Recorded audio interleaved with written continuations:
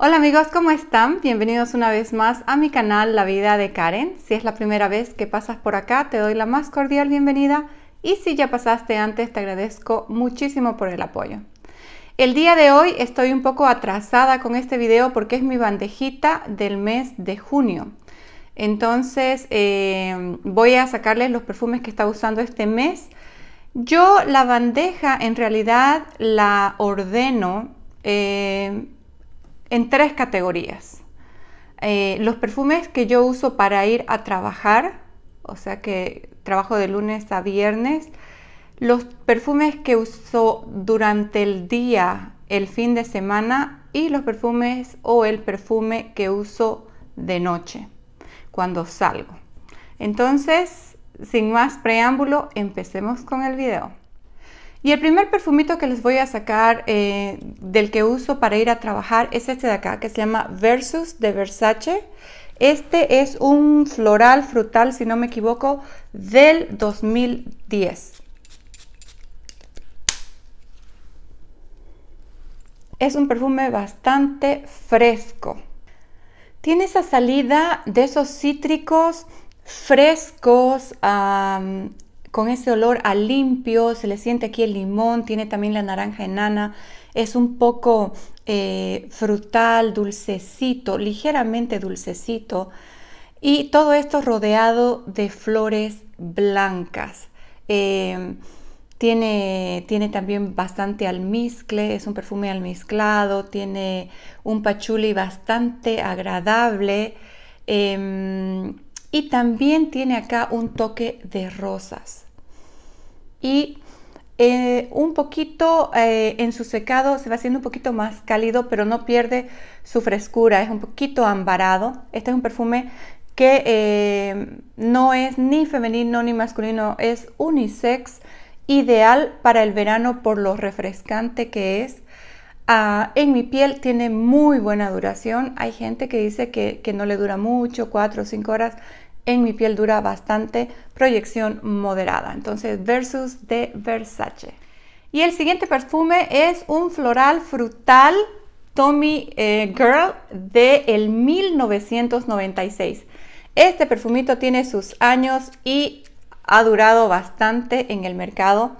Este perfume mucha, mucha gente lo ha usado y, em, y todavía lo siguen usando. Sigue en muchísimas colecciones porque es un buen perfume y a un precio bastante asequible.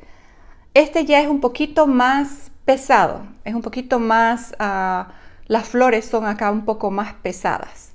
Este ya es un perfume que yo lo encuentro más luminoso, más chispeante, em, por esos cítricos, es una fragancia juvenil, femenina, pero aquí, a diferencia de esos perfumes frescos con olor a limpio, aquí tienes un perfume fresco, un tanto fresco, con unas flores blancas preciosas, eh, pero con presencia, porque es bien floral, con un toque de rosas. Este es un perfume bastante versátil que lo puedes usar. Eh, yo creo que todo el año, porque tiene ese aspecto dulce, eh, cálido, pero también fresco. Eh, es, es, muy, muy rico. Tiene buena duración, tiene buena proyección. La verdad que es un perfume eh, que si te gustan las flores, si te gustan las frutas y el almizcle, este te va a encantar. Porque este perfume tiene bastantes, bastantes notas eh, tiene eh, muchas frutas, tiene, por ejemplo, qué sé yo, la, tiene limón, pomelo, tiene grosellas, eh, tiene, tiene muchas flores también acá, tiene jazmín, tiene rosa, tiene madreselva, tiene violeta, no sé si lirios, pero tiene muchísimas notas. Y yo creo que también lo que balancea esta fragancia un poco es la menta, tiene menta que yo me imagino que le aporta frescura acá, es, que no se haga tan pesado porque son muchísimas notas, muchísimas flores y en un secado ya como dije almizclado, un poco amaderado, tiene cedro, sándalo, muy rico, excelente perfume, la verdad. Tommy Girl, de Tommy Hilfiger. Y terminando con los perfumes que uso ah, día a día para trabajar, eh, a mí me gustan mucho los perfumes de Natura. Cuando voy a Bolivia es cuando compro Natura o Boticario. Pero el año pasado cuando fui compré muchísimos y, no los he usado. Compré como unos 15 perfumes, he usado unos cuantos. Eh, y me encantan los frescores. Entonces este, este, año le dije a mi esposo, no me vas a llevar a ninguna Natura, a ningún boticario, no voy a comprar ningún perfume. Pero ahorita cuando saqué eh, la bandejita esta, hay un frescor que a mí me encanta. El de castaña es muy rico también, pero no dura. Pero este de maracuyá dura y proyecta lo que no está escrito. Este es un chipre frutal del 2003. ¡Ay, qué fragancia más rica! Es cítrica, es un poco dulce, es un poco jabonosita, es muy refrescante, es de esos perfumes súper revitalizantes, chispeantes, que te levantan el ánimo. Eh, es de esa sensación cuando te lo pones a limpio, como que recién te hubieras duchado. La verdad que esa nota de maracuyá me encanta, dulcecita, acidita, es muy muy rica. También aquí acompañan a, a esas frutas, acompañan las flores, son flores suaves que yo, por ejemplo, no puedo decir, oh, la siento la rosa, siento el lirio, siento la violeta. No, siento un conjunto de flores. Y en su secado es un poco polvosita, un poquito talcadita y ligeramente amaderada y almizclada. Es una fragancia que funciona muy muy bien en el calor. La verdad que tan refrescante que es ideal para el verano. Entonces, es de la línea Ecos eh, Frescor de Maracuyá de Natura. Y ya las fragancias un poquito más pesaditas que yo usaría durante el día en los fines de semana es este, eh, el primero, el Prada Candy Gloss. Este es un floral frutal gourmand del 2017. Ay, qué rico que es.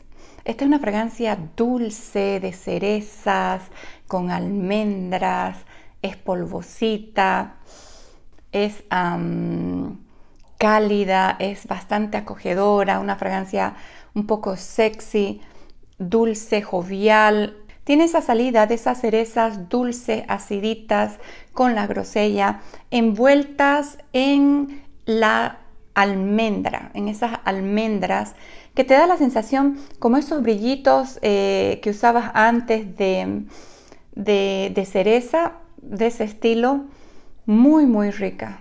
Yo le siento acá que tiene también un poco ese ADN del candy original, porque también tiene, eh, es una fragancia, ¿cómo les digo? Es poco complicada, es, es bien alegre, es informal, es una bombita de frutas gourmand con un poco de flores y unas especies de repostería, porque lleva aquí también la vainilla, tiene el benjuy, es, es bastante cálida, es un poco uh, empolvadita en su secado, porque ahí lleva también el heliotropo que le da. Ese empolvadito y esa sensualidad como de como de aterciopelada, así como con un toque de duraznito, así se podría decir. es muy, muy, muy rica. Eh, el único inconveniente que yo le veo es que este es un EDT y tiene una duración como de unas cuatro horas. Entonces por eso es que yo digo que esta es una fragancia como cuando tú sales en la mañana, que te quieres poner algo rico, que huela bien, que vas a salir, qué sé yo, a almorzar es ideal. Entonces esta es Parada Candy Gloss. Y la siguiente fragancia, esta es una adquisición reciente que le he comprado este año, en, hace como unos, ¿cuántos? Tres meses creo. Y eh, a mi hija y a mí nos gusta. Esta es una fragancia floral que se lanzó el año pasado, 2021. Y esta es eh, Valentino Donna Born in Roma Yellow Dream larguísimo el nombre. Es otro flanker de los uh, Born in Roma, pero este es más fresco. Eh, si por ejemplo el Valentino Donna Born in Roma te parece muy dulce, este te va a gustar. es tan rico, la verdad. Es más cítrico, es más fresco, pero también es dulcecito. Es muy, muy rico. Estoy fascinada con este perfume. Acá en Fragrántica solo destaca tres notas que son creo que el limón, la rosa y si no me equivoco el almizcle blanco. Pero esta fragancia tiene esa salida cítrica de limón pero también va acompañado de la bergamota. Tiene un toquecito ligero especiadito muy muy rico. Y aquí después entran las flores, la rosa, pero también tiene más notas. Como dije, esta fragancia tiene esa salida cítrica fresca, pero también con la bergamota y eh, dulce. Entonces yo decía, ¿qué es lo que le da la dulzura? Esta fragancia había tenido lichi también. Entonces esa fruta endulza eh, esa salida y también entra la rosa, pero no va sola, va acompañada de la peonía que le da ese aire sofisticado, elegante, femenino también, un poco una rosa más aireada, más dulcecita, en una base de almizcle y vainilla, porque también lleva vainilla. Entonces es bastante sexy. Es dulcecita, sexy, acogedora, muy rica. Eh, es una fragancia que yo la encuentro ideal para la primavera, para el verano. Puedes usarla de día, puedes usarla esas noches agradables. Tiene una duración más o menos de unas 6 horas en mi piel con una proyección moderada, pero me encantó, me encantó, me encantó. La verdad que todos los Valentinos son muy buenos. Valentino Born in Roma Donna Yellow Dream. Y ya el perfume que estaba usando para esas noches durante este mes que ha estado un poco más caliente es este de Mancera Pearl. Eh, nosotros fuimos a un matrimonio en la tarde con mi esposo hace como un domingo anterior. Ese día, no voy a mentir, ese día usé Delina, porque, ay, no sé, esa fragancia me encanta, todo el año la uso. Y este, la usé solo ese día, entonces no, no, no, le iba a poner aquí en la bandejita, ¿verdad? Entonces, este Pearl es una fragancia de la familia ah, floral que se lanzó en el 2016 aquí tiene higo y el higo en la fragancia a mí me encanta. Como dije, si te gusta la nota de higo, esta es una muy buena opción, un perfume floral, frutal, atalcado, ambarado. Este perfume tiene una salida frutal dulce, eh, con un toquecito verdoso, es bien almizclada y se siente un poco jabonosita. También acá se, eh, después va entrando la rosa, una rosa fresca, con un toquecito salado que creo que es lo que balancea toda esa dulzura aquí, porque es bien frutal, ese, ese higo dulce, cremoso. Ah, es un perfume que yo le encuentro bastante sexy, en su secado se siente un poquito leñosito, amaderado, cálido, ambarado. Es un poquito polvosita también en su secado, una fragancia sexy pero a la vez elegante y em, con una duración y una proyección magnífica. Este te dura horas, horas y horas. Entonces este sería Mancera Una perla en mi colección. Entonces amigos, estos son los perfumitos que he sacado, que he estado usando este, eh, este año, este mes de junio. Eh, díganme si lo conocen, cuál de estos les gusta, cuál usan. Déjenme también en la cajita de comentarios qué perfumes han estado usando este mes. Quiero invitarlos también que se suscriban a mi canal si todavía no lo han hecho y les gusta el contenido que yo traigo, que activen la campanita para que YouTube les avise la próxima vez que yo suba un nuevo video. Que tengan un feliz fin de semana, que el Señor me los bendiga. Para las personas que viven aquí en Estados Unidos, que disfruten este fin de semana largo. El lunes es un holiday, es la independencia de acá de Estados Unidos. Es el 4 de julio. Muchas felicidades. Adiós. ¡Mua!